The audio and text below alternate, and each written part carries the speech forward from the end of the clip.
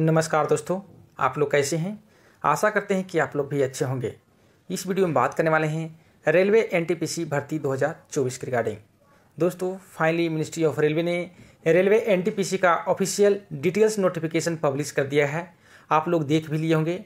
लेकिन दोस्तों, आप लोग की एक शॉर्ट वीडियो में आप लोग को जोन वाई वैकेंसी बताने वाला हूँ कि कौन से जोन में कितनी वैकेंसी है। क्योंकि आप नोटिफिकेशन पढ़ेंगे, उसमें कई पेज हैं। आपको पूरे डिटेल्स देखने में काफ़ी दिक्कत का सामना करना पड़ रहा है। आपको समराइज करके यहाँ पे आप लोग बताने वाला है। साथ में दोस्तों, आप लोग को यहाँ पे N T P C C B T one दो हज़ार उन्नीस का कट ऑफ़ मार्क्स बताने वाले हैं कि कौन से जोन में कितने कट ऑफ़ मार्क्स गए हैं और सेफ़ जोन कौन सा हो सकता है, क्योंकि नंबर बेसिस पर ही पता कर सकते हैं कि पिछले बार किस जोन में क्या कट ऑफ़ मार्क्स रहा है। इस वीडियो में आप लोग को इस सारे टॉपिक पे डिस्कस करने वाले हैं। तो वीडियो को शुरू से लेकर एंड तक ज़रूर देखें। अगर चैनल पर पहली बार विज़िट कर रहे हैं तो चैनल को सब्सक्राइब कर लें।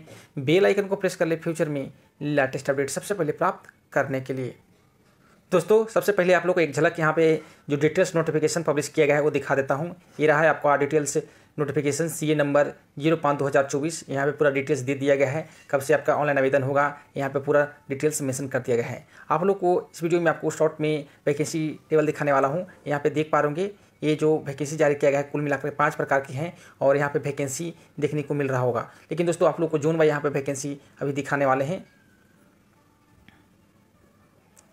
दोस्तों, ये रहा वैकेंसी टेबल यहाँ पे 2024 में जो वैकेंसी जारी किया गया है, यहाँ पे जून वाई डिटेल्स दिया गया है और यहाँ पे पोस्ट भी डिटेल्स दिया गया है कि कौन से पोस्ट में कितनी वैकेंसी है। जैसे आप यहाँ पे देख पा रहे होंगे आर आर अहमदाबाद, यहाँ पे सी सी टी एस यानी जो टिकट सुपरवाइजर का जो पोस्ट है, यहाँ पे फिफ्टी सेवन है, उसके बाद स्टेशन मास्टर का देख सकते हैं सेवेंटी वन है, उसके बाद ट्रेन मैनेजर है, उसके बाद जे है और सीनियर क्लर्क है। टोटल वैकेंसी भी यहाँ पे मैंसन कर दी है कि कितनी वैकेंसी है।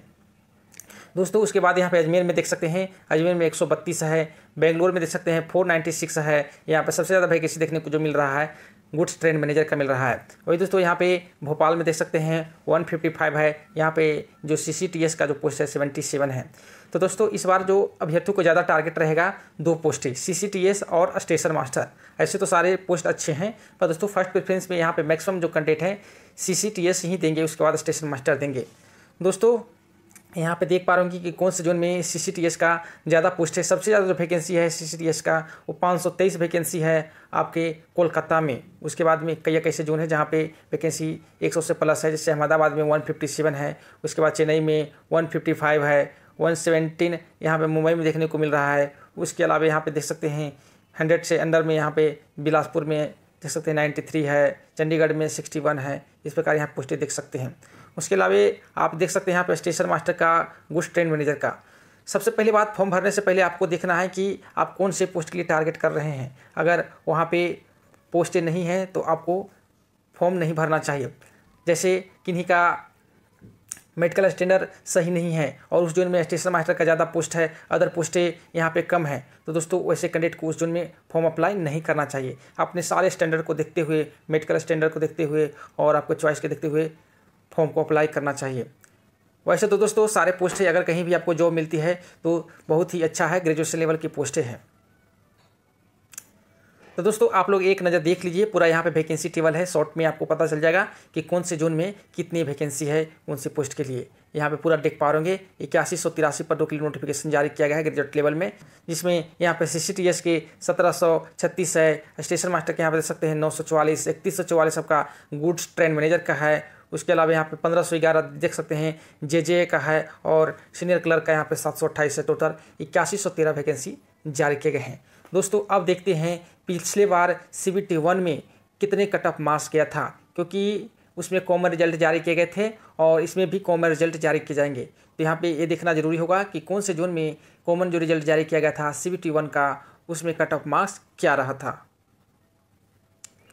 तो दोस्तों 2019 में जो टोटल वैकेंसी था, पैंतीस हज़ार दो सौ सतहत्तर जारी किया गया था। इसमें आपको जो कट ऑफ़ मार्क्स बताने वाले हैं ग्रेजुएट लेवल के हैं मैक्सिमम जो पोस्टें हैं लेवल फाइव और सिक्स के हैं, उन्हीं का कट ऑफ़ मार्क्स जारी किया गया है। अगर उस जून में अगर लेवल फाइव का कट ऑफ़ मार्क्स कम गया है तो मिनिमम कट ऑफ़ बताए हैं। अगर लेवल सिक्स का मिनिमम कट ऑफ़ गया है तो वो मिनिमम सिक्स का ही लिखे हैं। यहाँ पे देख पा रहे यहाँ पे मेंशन कर दिया गया जैसे अजमेर दिख रहेंगे तो यहाँ पे एल फाइव लिखा हुआ यानी लेवल फाइव का जो कट ऑफ़ मार्क्स गया था ग्रेजुएट लेवल में सबसे कम था। यहाँ पे टोटल वैकेंसी था सत्रह सौ तिहत्तर था, और जब कैटेगरी से अस्सी कट ऑफ़ मार्क्स गया था, अस्सी पॉइंट सत्रह, सतहत्तर पॉइंट बाईस, उसके बाद इकहत्तर पॉइंट उनहत्तर चौहत्तर ए का अड़सठ पॉइंट अट्ठारह और एसटी का यहाँ पे इकहत्तर पॉइंट सोलह कट ऑफ़ मार्क्स गया था। उसके अलावा यहाँ पे देख सकते हैं, इलाहाबाद में देख सकते हैं, उससे कम कट ऑफ़ मार्क्स गया था। चालीस सौ निन्यानवे पोस्ट था, उनासी पॉइंट पंद्रह, तिहत्तर पॉइंट पचपन, अड़सठ पॉइंट छप्पन और पैंसठ पॉइंट पैंतालीस, पचपन पॉइंट आठ कट ऑफ़ मार्क्स गया था।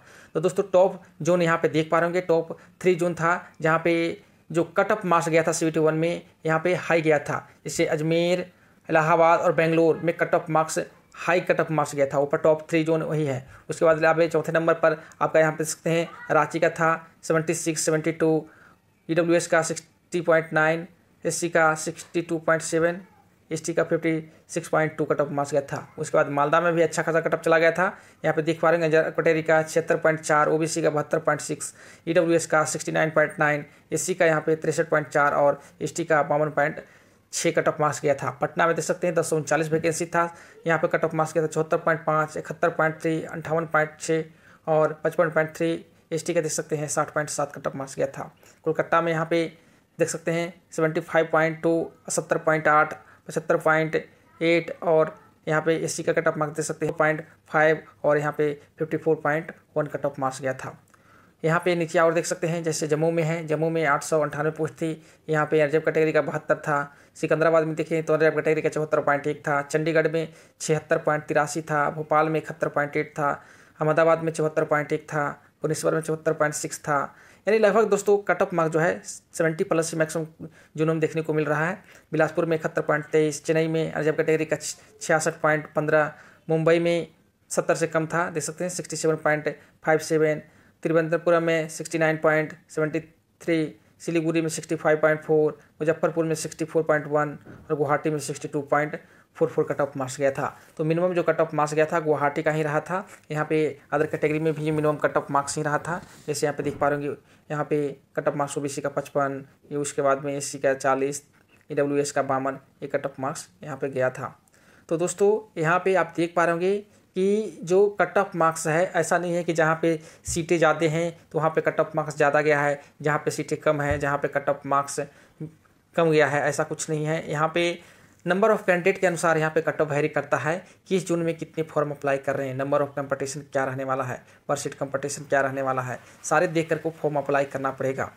ऐसा आप अनुमान नहीं लगा सकते हैं कि इस जून में कितना कट ऑफ़ मार्क्स जाने वाला है। पर दोस्तों, कुछ जोन हमेशा सेफ़ ही रहते हैं। जैसे यहाँ पे देखिए गुवाहाटी में तो ज़्यादा पॉसिबिलिटी रहता है कि आपका कट ऑफ़ मार्क्स कम ही देखने को मिलता है।